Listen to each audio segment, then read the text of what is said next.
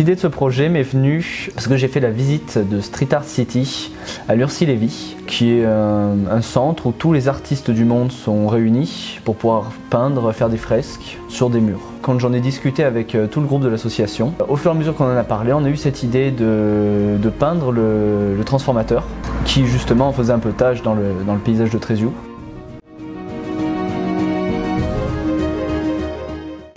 Bah, on est arrivé euh, à la mairie à 9h30 et ensuite euh, on a peint avec Damien, puis on a fait un pique-nique avec lui et après on a continué de, peindre.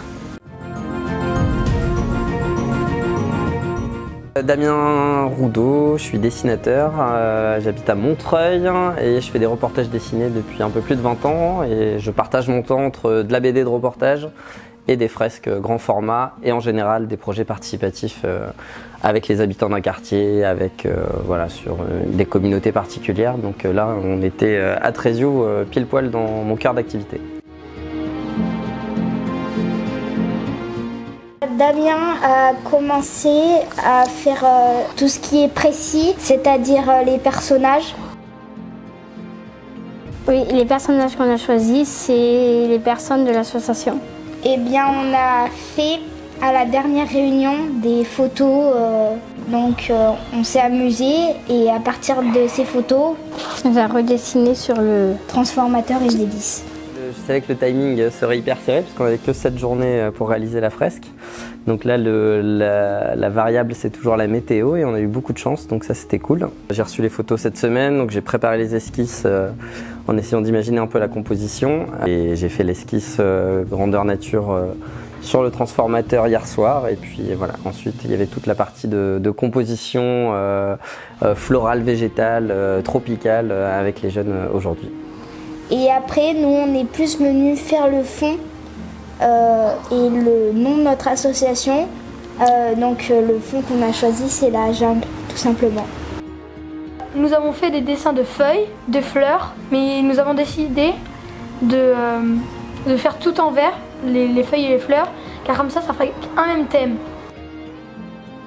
Nous avons choisi comme matériau de la peinture acrylique, des pinceaux, fins ou gros,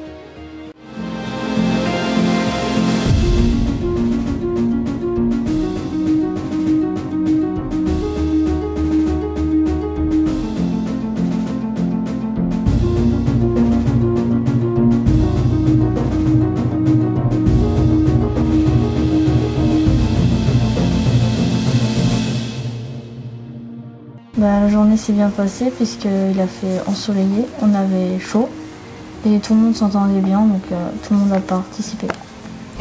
Eh bien, moi, j'ai beaucoup aimé. J'ai appris beaucoup de choses euh, avec cet artiste.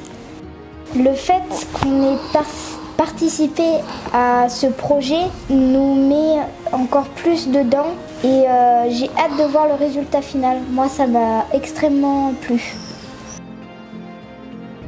Il nous a appris euh, quelques mélanges de couleurs. euh, voilà.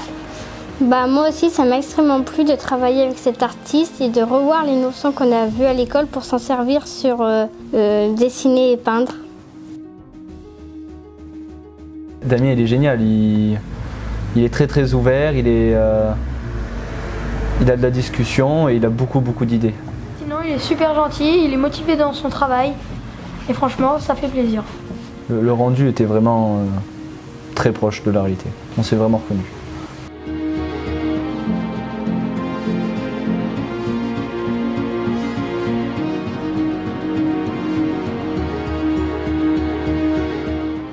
Et vous avez, c'est un super groupe. Non, non, ils n'ont pas débrayé là de, 9h jusqu'à la fin de journée. Ils ont hyper concentrés, euh, hyper enthousiastes. Ils se complimentaient les uns les autres, donc il y avait une super énergie.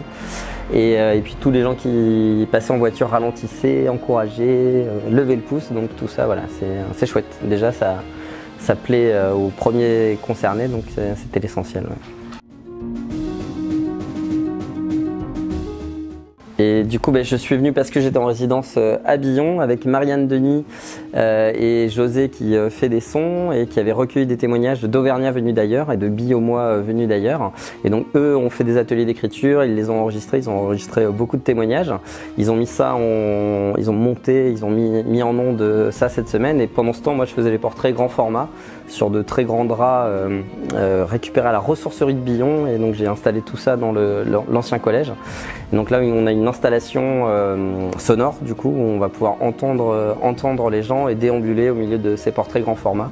Donc il y a toute une installation avec euh, les croquis de recherche, les portraits grand format et le vernissage. Et le 2 juin, et ça restera ensuite aux heures d'ouverture de la perme de l'ancien collège tout le mois de juin.